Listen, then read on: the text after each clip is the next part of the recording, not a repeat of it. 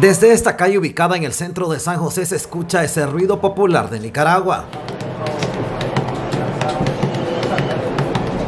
Y nos indica que desde acá se preparan unas exquisitas tortillas nicaragüenses. Es el negocio de Francisco Cortero que emprendió en plena pandemia al quedarse sin empleo. Yo tuve que venir un día buscando tortillas desde donde vivía hasta donde las venden y pues caminé que, como kilómetro y medio. Entonces al volver, entonces se me ocurrió, ¿verdad? Sin embargo no tenía, tenía la idea, pero no tenía el recurso.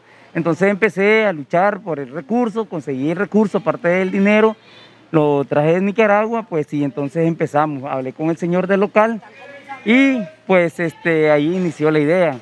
Francisco Cortero es originario de Jinotepe, Carazo, y es un ejemplo de que sí se puede emprender en un país que no es el nuestro. Y su hija Catherine lo sabe muy bien, pues ha emprendido su negocio de buñuelos que los oferta en esta tortillería. Son 100% de yuca y queso y la miel especial, su jarabe, ¿verdad? Que yo le doy un toque personal y caseros, muy caseros y naturales 100%. El negocio lo aperturó desde hace un mes y ha tenido una buena aceptación. Está muy sabroso, muy cómodo. Escogí el mejor lugar para matarme el hambre, porque me venía muriendo del hambre. Barato y rico.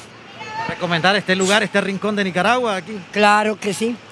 De por sí soy aficionada a la comida nicaragüense. Me gusta mucho. Me quedé con los nacatamales vengo a comer nacatamales. Y como ustedes ya vieron, vienen muchos ticos que hemos venido y que, digamos así, importando nuestra cultura eh, culinaria y le ha gustado mucho la cuajada, las tortillas, el nacatamal. Si usted está exiliado o es de la diáspora nicaragüense acá en Costa Rica y anda por San José, en esta capital costarricense, y quiere probar las tortillas de Don Frank, puede encontrarlas del Colegio de Señoritas una cuadra hacia el sur, donde también va a encontrar el buñuelo Nica.